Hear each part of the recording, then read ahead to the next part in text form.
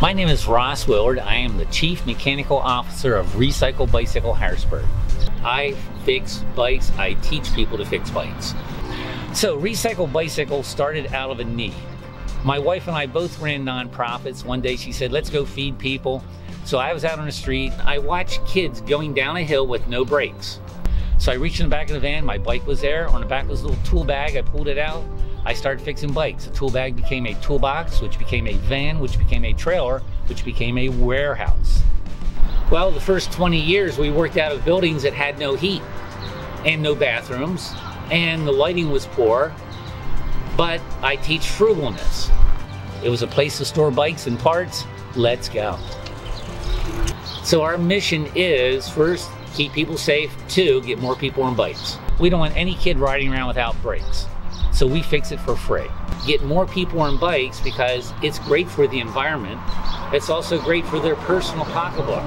We would teach you using college level physics or whatever you're capable of understanding how to turn a wrench. But that way you understand what you're doing. It isn't just, oh, you memorize, I turn the wrench. So when it breaks, you know how to fix it. So we are a teaching shop. We can teach anybody. The bikes are free, the parts are free, the tool use is free. I get the tools back when you're done so somebody else can use them. You're going to need a locking system suitably strong that I can't break it with a screwdriver with my bare hands. And I'll ask the question, what happened to your old bike? Because our title again is Recycle Bicycle. What happens is not every bike donated can be repaired. We might scrap it and we'll use those parts to fix another bike and then that frame will get melted down and come back in as a new bike from the factory then we're actually recycling center. Um, the parts, we reuse them, and if we don't use them, we send them to other nonprofit shops to use.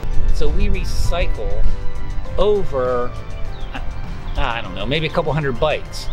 But in doing so, then we're left with a thousand bikes or more that we give away every year. We love what we're doing. It shows in here. Behind me, there are probably close to 20 volunteers helping people today. And so in doing so, we are called Recycle Bicycle, but we're really Recycle People.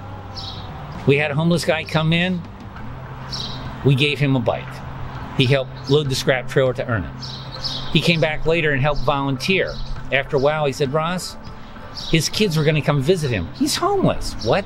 He was getting visitation with his two adult teenage, well, they weren't adult, but big teenage sons. He wanted to fix up bikes so they could ride around the city. So his ex-wife dropped them off at a church in Harrisburg. They slept in the basement and they rode all over the city that weekend.